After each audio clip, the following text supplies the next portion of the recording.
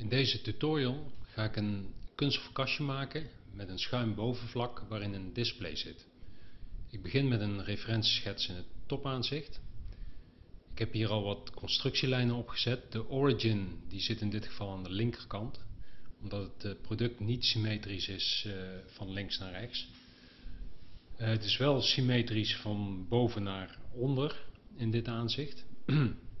dus ik heb wel een symmetrielijn over de origin horizontaal gelegd. Nou, ik begin met de, met de splines via het snelmenu onder uh, de toets S. Kies ik spline. En dan kies ik een spline met drie punten voor de buitencontour.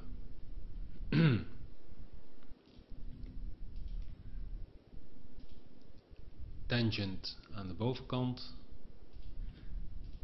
en aan de verticale assen. Omdat de contour van de behuizing die moet doorlopen aan de onderkant. En dan bemaat ik het derde splinepunt.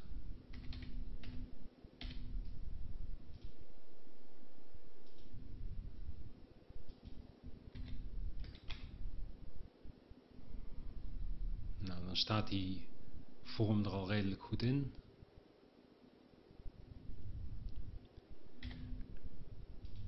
En dan kan ik de vorm nog iets preciezer sturen met de lengte van de hendel.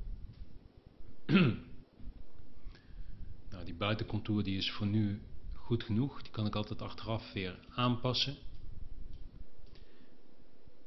En dan weer via toets S, sneltoets, de tweede spline, hetzelfde verhaal. Dus ook weer uit drie punten. Tangent aan de bovenkant. En aan de onderzijde met de verticale assen. Dus de bedoeling dat deze contour een heel klein beetje qua vorm meeloopt met de buitencontour.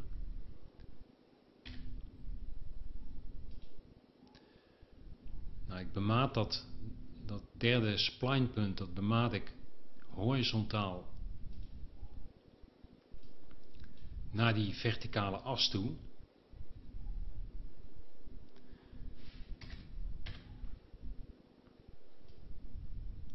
Dat heb ik in feite hierboven met die buitencontour ook gedaan. Dus die heb ik ook bemaat naar de verticale as van, van die spline. Dus ik uh, construeer die verschillende splines exact op dezelfde wijze.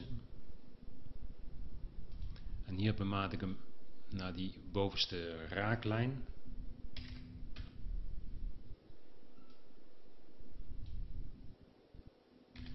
En ook in dit geval geef ik een lengte van die hendel op. Nou, dan zie je dat die, dat die vorm redelijk met de buitencontour meeloopt. En hier zit iets van een verloop in. Uh, ik ga straks in de vorm checken hoe mooi dat eruit komt. Maar dat kan ik altijd nog bijstellen. Snelmenu S, de derde spline.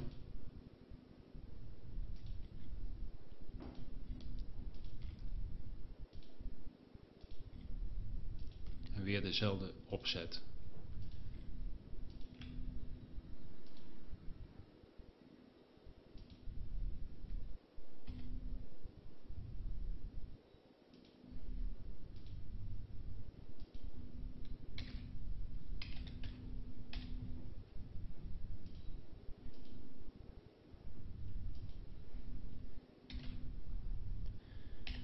Deze hendel krijgt een lengte.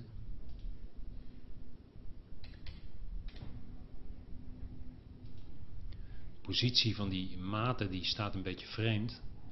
Dus die verplaats ik iets, zodat ik ook echt zie dat die maat hoort bij de lengte van de hendel. Dus als die, als die lijn naar de origin van die hendel wijst, dan weet je altijd dat die maat de lengte van, van deze hendel uh, weergeeft.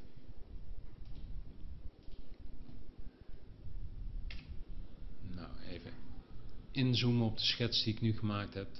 heb. Uh, eens even kijken. Nou, dat ziet er allemaal best goed uit. Dus dan is de referentieschets van het topaanzicht klaar. Geef ik dus ook de naam ref top. Dan ga ik verder met een referentieschets in het frontaanzicht. Ik draai de view een beetje. Dan begin ik een nieuwe schets in de frontplane. Dan begin ik eerst met wat constructielijnen. Dit is een solid lijn, maar ik vink de optie for construction aan. De lengte die wil ik gelijk maken aan de lengte uit de top view. Coincident dus.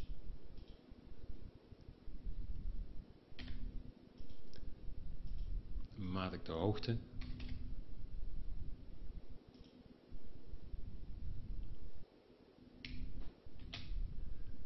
Zoals ik al zei, krijgt het kastje een schuin bovenvlak.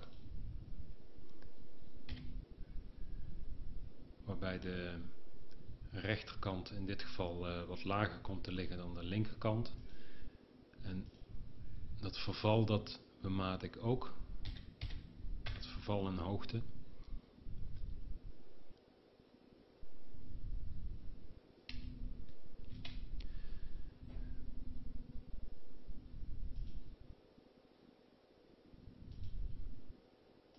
Ik ben nu in feite met die, die box die ik getekend heb, dat wordt de, straks de, de bovenshell van de behuizing. En aan de onderkant komt, komt ook een behuizingsdeel. En die twee zijn weer gescheiden door een lip groove. En die lip groove die wordt een, halve millimeter hoog.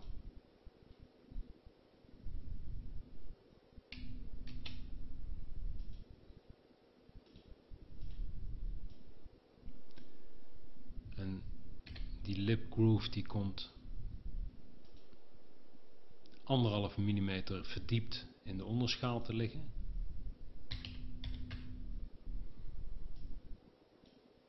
Dus die maten die geef ik hier gewoon al op als constructielijnen.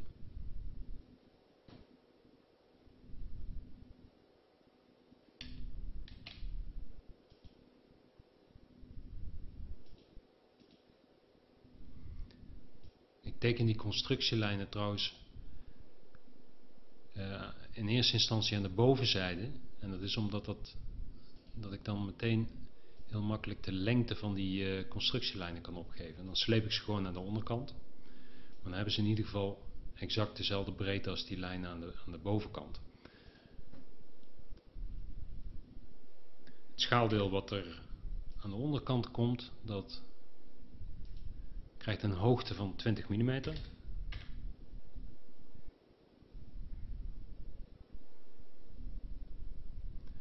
Goed.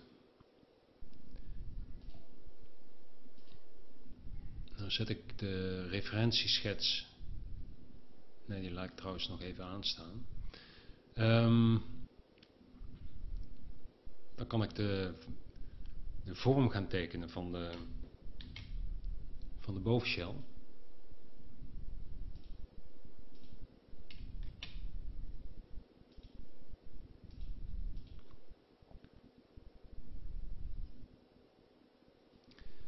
Even kijken. Dan wil ik dit punt laten piercen met die, met die contourlijn. Want dan weet ik in het zijaanzicht van waar die vorm moet, precies moet eindigen. En hetzelfde geldt voor dit punt en ook weer diezelfde spline maar aan de andere kant. Ook weer een piersrelatie. Dan gaat die behuizing die gaat hier schuin naar beneden lopen en die komt dan precies aan op deze constructielijn. Oftewel die 14 mm lager.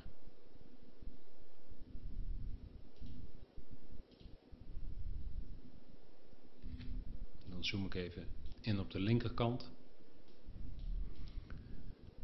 Um, dan ga ik hier een spline tussen tekenen. Maar ik zet eerst even een constructielijn om aan te geven in welke hoek ik die spline wil laten eindigen.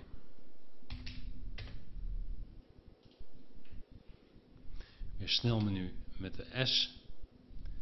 Dat is hier rechts uh, van, van de cursor is dat ook te zien.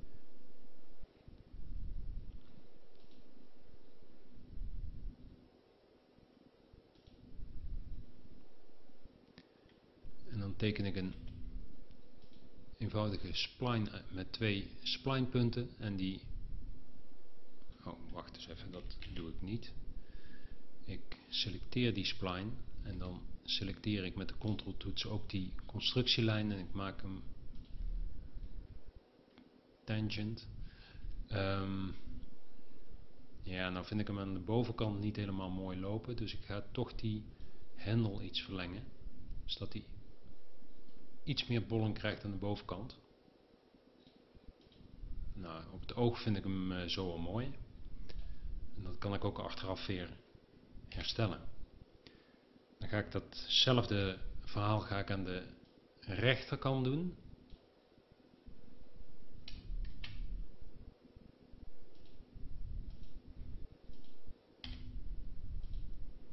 Dus ook weer een constructielijn voor de hoek waarop die eindigt.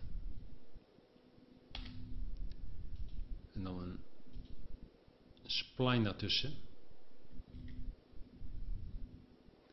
In eerste instantie tangent met die hulplijn. Nou, die komt hier helemaal verkeerd aan. Um, dus ik ga die hendel dus een flink stuk kleiner maken.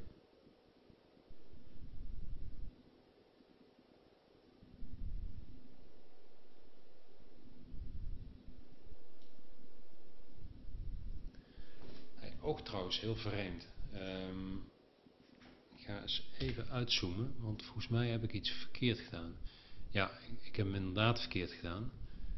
Kijk, deze constructielijn die, die loopt naar de tweede spline. Terwijl deze constructielijn die loopt in dit geval naar de binnenste spline. Dus die loopt gewoon naar de verkeerde spline. Dus dat pierspunt bij de relations, dat gooi ik eruit met de lead dan ga ik hem een relatie geven met de middelste spline.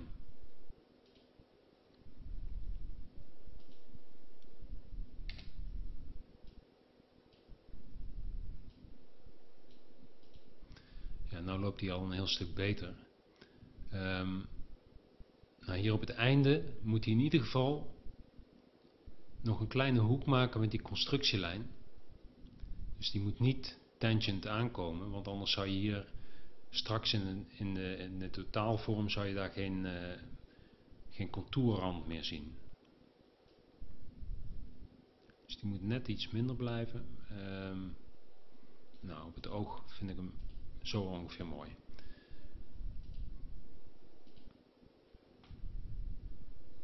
Even checken of alles er goed uitziet.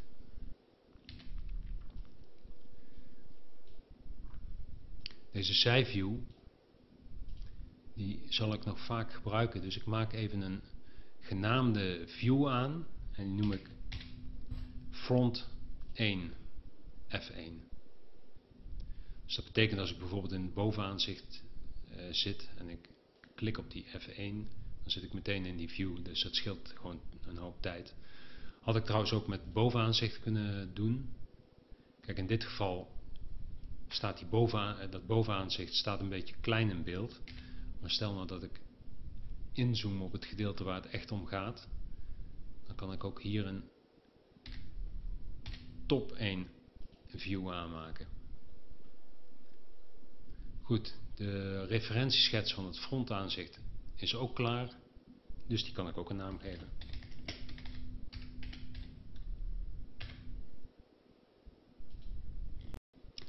Nu wil ik een derde referentieschets gaan maken.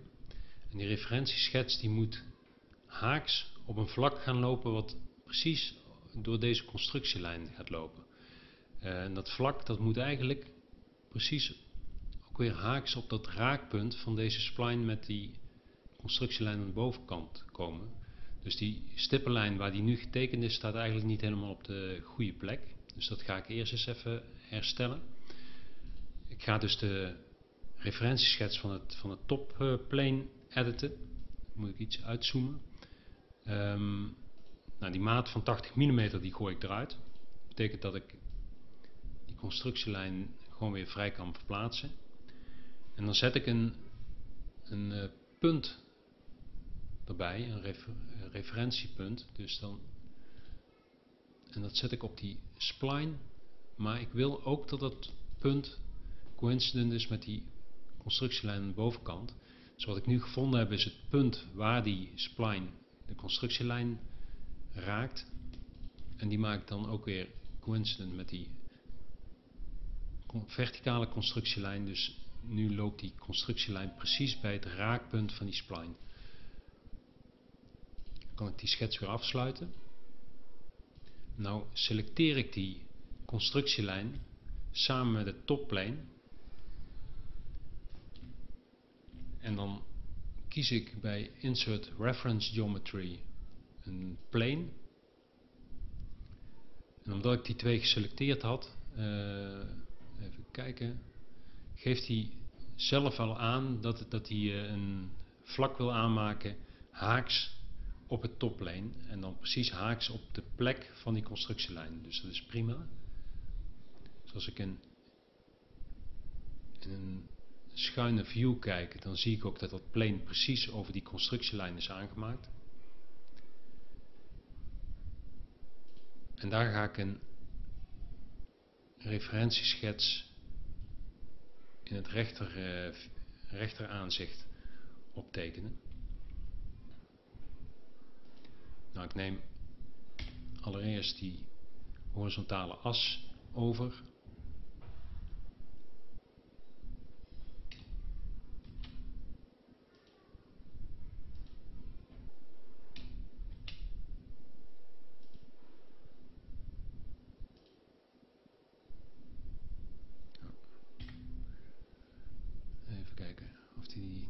dus niet Um, constructielijn naar boven toe.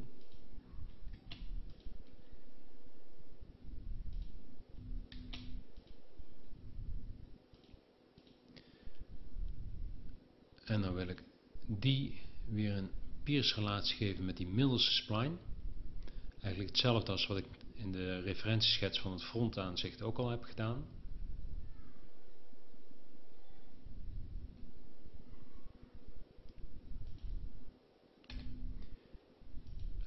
Deze die geef ik ook weer die hoek naar beneden. Dat was die hoek van 30 graden. Ik ga straks ook uitleggen waarom ik dat doe. Tenminste kan ik nu eigenlijk ook wel doen. Ik ga straks een bepaalde surface loft aan de bovenkant uh, modelleren. Maar ik wil dat die aan de onderkant, dus bij het deelvlak, bij de lip groove, precies onder een hoek van 30 graden uitkomt. Dan ga ik hier straks weer een spline in tekenen. Alleen er ontbreekt nu nog één maat en dat is de hoogte. Die hoogte die moet ik uit de referentieschets in het frontaanzicht uh, zien te halen. En dat kan door een horizontale constructielijn te tekenen. En die maak ik coincident kijken, nee dat is niet handig. Die geef ik een, uh, een piersrelatie met, met die schuine lijn en het frontaanzicht. Want dit hulpvlak wat ik nu heb aangemaakt, de hoogte van, van dat uh, bovenvlak van dat kastje, dat wordt gedicteerd door die schuine lijn uit het frontaanzicht. Dus die maat die moet ik ook daar vandaan halen. Dat ziet er allemaal goed uit. Kan ik die twee referentieschetsen even hiden van het top- en het frontaanzicht. En dan ga ik even haaks op de right plane of op, op die zelf aangemaakte plane kijken. En dan kan er een spline ingetekend worden. Tangency aan de onderkant. En dan kan ik die maat ook, of die eh, vorm een beetje aanpassen. Ik wil dat hij een beetje zichtbare kromming aan de bovenkant krijgt, dus ik maak die hendel iets langer. Nou, dat lijkt er wel aardig goed uit te zien. Schets sluit ik af en die noem ik ref right. Hoewel die dus niet helemaal in het, in het uh, right plane ligt, alleen plane 1 is uh, wel parallel aan het right plane.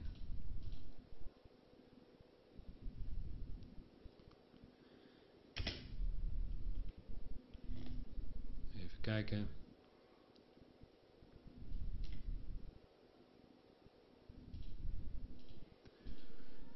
Laat ik ook maar de verticale symmetrie als streven intekenen. En dan sla ik ook deze view op.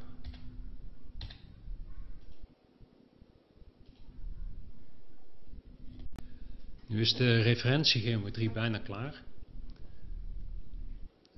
Um, eens even kijken, ik zet die eerste twee referentieschetsen, die zet ik weer even op zichtbaar.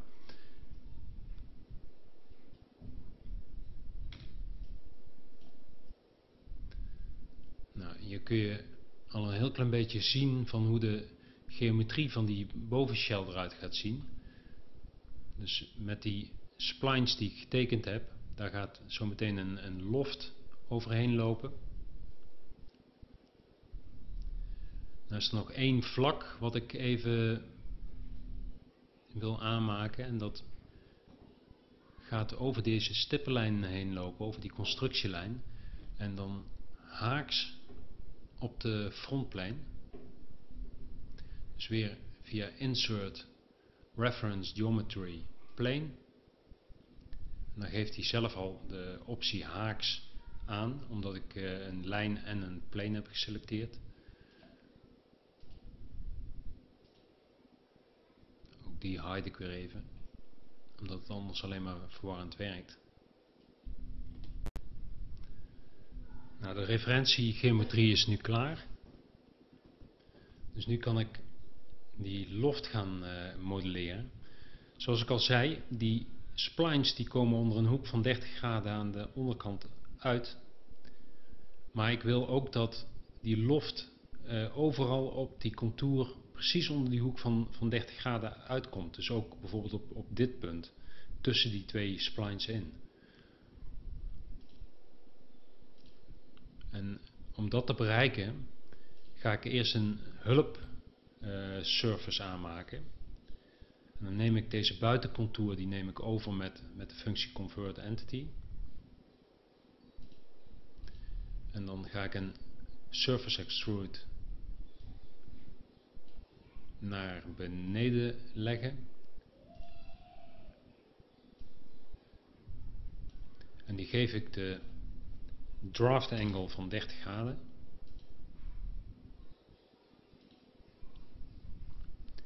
Dus ik heb nu een hulpsurface en ik kan zorgen dat het surface wat aan de bovenkant komt te liggen, dat dat mooi met een tangency aansluit op dit hulpsurface.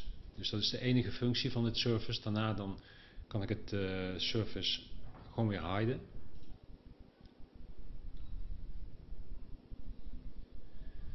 Um, nou, nu heb ik ook gelijk de, de ondercontour van die, van die loft te pakken die ik zo meteen ga construeren. Alleen de, de bovencontour die mis ik nog. En die bovencontour die gaat gevormd worden door, uh, door deze spline. Samen met, met deze schuine lijn. En die schuine lijn die ga ik eerst even naar een nieuwe schets op het frontplane halen. Ook weer met convert entity. En die maak ik even iets langer, zodat hij in ieder geval uitsteekt ten opzichte van, uh, van die spline. Um, dan sluit ik die schets weer af. En nu ga ik die schets die ik net gemaakt heb, Wacht eens even. Deze die moet ik natuurlijk ook op een nieuwe schets zetten. Dus ik maak ook een nieuwe schets op het topplane. waarin ik alleen die spline even overhaal. En die kan ik ook gelijk afsluiten. En nu ga ik die twee schetsen, die selecteer ik en dan kies ik de functie Projected Curve. Sketch onto Sketch. Nou, die optie staat al aangevinkt. En dan heb ik een... Nou, laat ik eerst... Uh, nee, die moet even aan blijven staan. Um, nu is in, in het blauw een projected curve te zien. Die precies door die drie splines heen loopt aan de bovenkant. Um, in het bovenaanzicht heeft hij eigenlijk een, een vorm die gelijk is aan die middelste spline. En in het zijaanzicht, oh, dat is hier goed te zien, loopt hij precies gelijk met die constructielijn die we in het frontplein hadden getekend.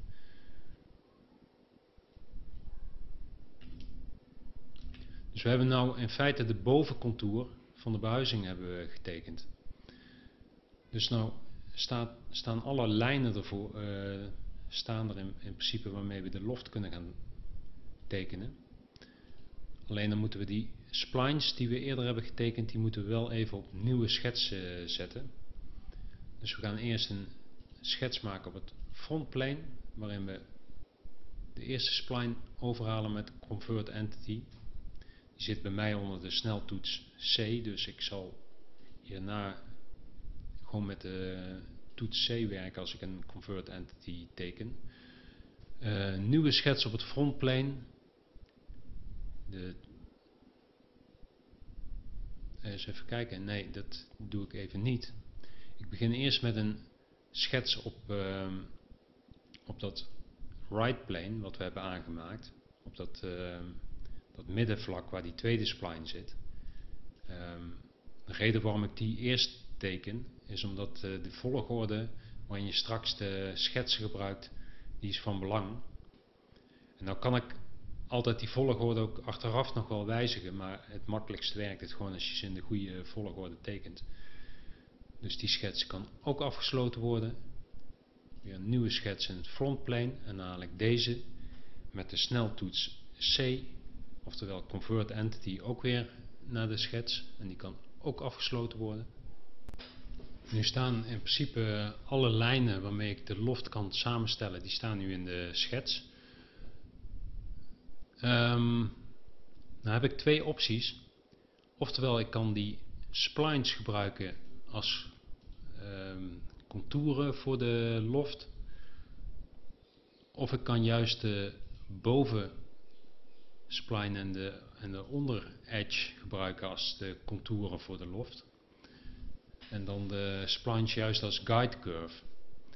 Nou, ik ga eerst dat laatste maar eens proberen. Vaak is het ook gewoon een kwestie van beide methodes eens uh, even proberen en dan de, de, de beste eruit kiezen. Goed, ik selecteer de edge van dat surface wat ik naar beneden heb aangemaakt. En dan met de control toets selecteer ik de projected curve erbij. En dan kies ik de functie lofted surface. En dan zou er eigenlijk al een, een preview moeten ontstaan, maar ik zie hier dat dat groene punt, dat moet je tegenover elkaar zetten. Nou, nou zie je dat er inderdaad een, een soort preview van een surface ontstaat. De vorm van dat surface is nog niet echt mooi. Maar daar kan ik iets aan doen door die guide curves te selecteren. Nou, dan klik ik hier op het plusje om die tree even zichtbaar te maken en dan selecteer ik als guide curves die drie schetsen. Vaak moet je twee keer erop klikken voordat hij hem ook echt hier in de, in de box opneemt. Uh, dan zie je dat, dat die schetsen nu in de goede volgorde staan. Uh, ik heb ze ook met opzet in die volgorde getekend. Mochten ze nou niet in de goede volgorde staan, dan kun je altijd die, die volgorde aanpassen. Uh, maar zoals ik al zei, ze stonden in de goede volgorde. Kijk, en nu zie je met de preview van het surface dat hij heel mooi die contouren volgt van die, van die guide curves die ik heb getekend. En in de zebra stripes is, is goed te zien dat, de, dat het surface er eigenlijk best mooi uitziet. Um, er zijn er nog een paar dingen die ik wil aanpassen. Als ik hier klik op die edge die ik als, als eerste profile heb uh, geselecteerd, dan kan ik hier bij Start Constraints heb ik verschillende opties. Nou, ik kan bijvoorbeeld Curvature to Face proberen. Die werkt niet altijd. Um, nou, in dit geval lijkt die, lijkt die wel te werken. Dat betekent dat het vlak uh, met een hele mooie tangency aankomt op dat surface aan de onderkant. Curvature to face is zelfs uh, ja, een, speciaal geval van tangency die, die in principe nog een mooier eindresultaat geeft. Maar zoals ik al zei, niet altijd werkt. En nou zijn er nog een paar dingen die ik bij die guide curves wil instellen.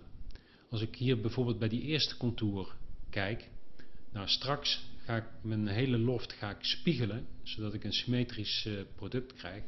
Dat betekent dat dat uh, vlak hier precies haaks op die guide curve aan moet komen. Want anders krijg je daar een knik in, uh, in het vlak te zien als je hem gespiegeld hebt.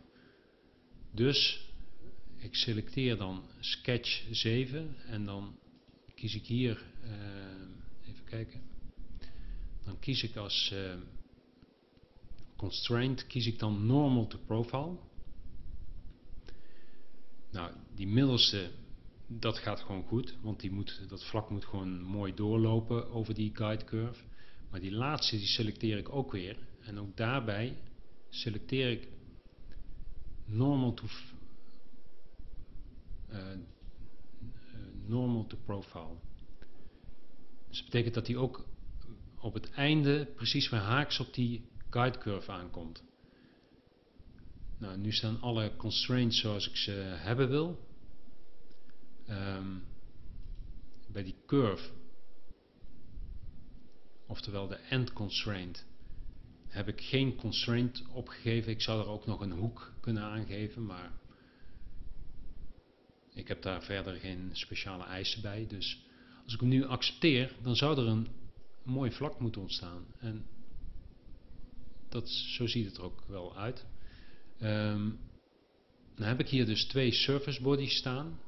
En zoals ik al zei, die eerste die heb ik puur en alleen gebruikt als een, als een guide om te zorgen dat dat bovenvlak mooi tangent aankomt op dat uh, hulpvlak. Dus die heeft zijn functie vervuld en die kan nou weer gehide worden.